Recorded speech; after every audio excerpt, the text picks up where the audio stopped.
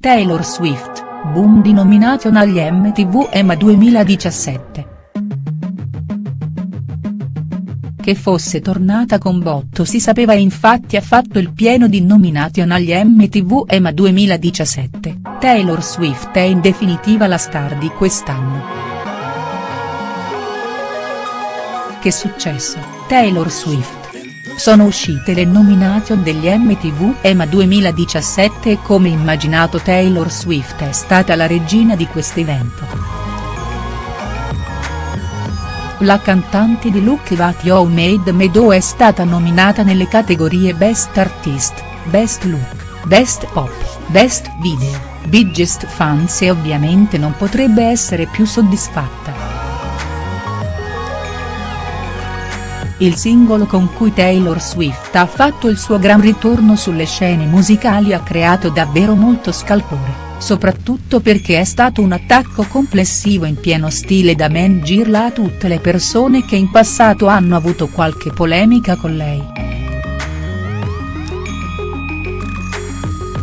Da Kim Kardashian a Katy Perry passando per Kanye West le frecciatine alle altre star non sono state affatto velate e in alcuni punti giudicate anche abbastanza eccessive.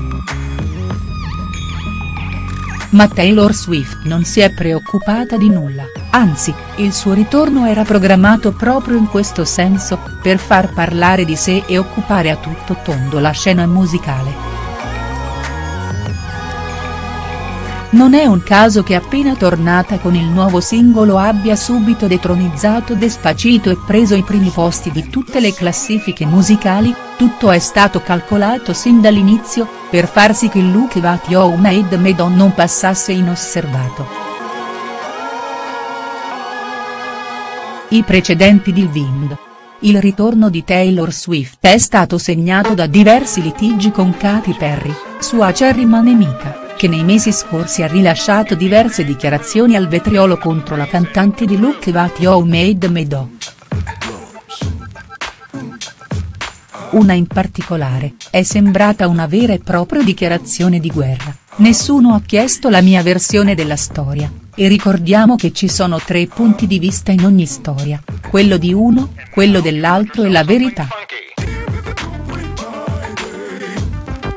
Io parlo sempre di unità ma, voglio dire, io non sono Buddha, certe cose mi irritano. Mi piacerebbe poter porgere l'altra guancia ogni volta ma non sono un avversario facile, lo sai? Soprattutto quando qualcuno cerca di assassinare il mio personaggio con i fan. In tutta risposta, Taylor Swift ha rilasciato la sua musica su Spotify lo stesso giorno dell'uscita dell'album di Katy Perry, Witness, cosa che ha fatto passare in secondo piano il nuovo disco della cantante.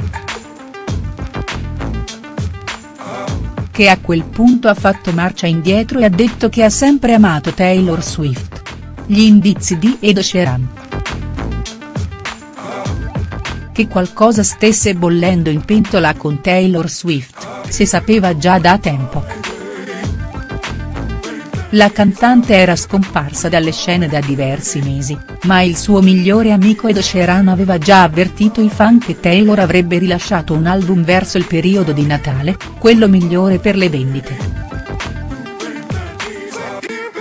E infatti uscirà il 10 novembre giorno tra l'altro della morte della madre di Kanye West ma quello, dice, è stato un caso fortuito.